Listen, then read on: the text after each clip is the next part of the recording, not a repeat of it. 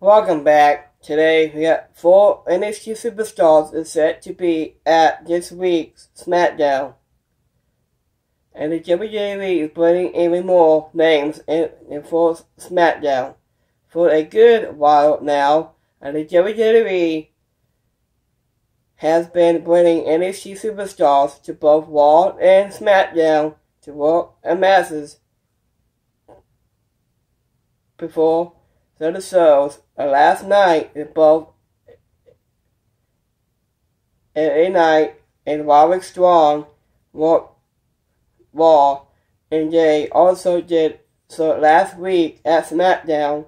Now we now of, of four NXT superstars who are slight to be at SmackDown this week. According to Mike Dawson of PW Style, Dawson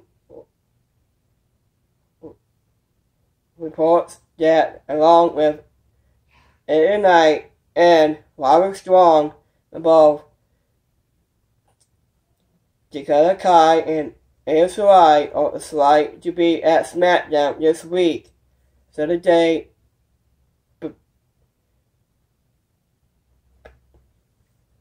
So the Royal Rumble is not know if these four will work masses or not, but so the best I bet will be strong for us tonight uh, and the Kai for us ASY.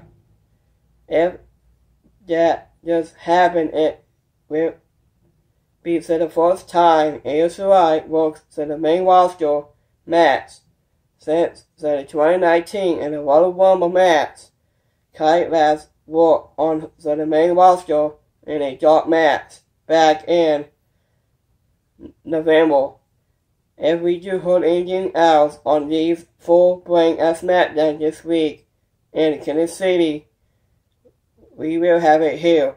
So I guess uh, like a video, comment down below what you thoughts on on YouTube so I guess uh, uh, comment down below, like the video, give me thumbs up. I'll see you uh, next video. I'll see you next time right here on YouTube. I'll see you next time.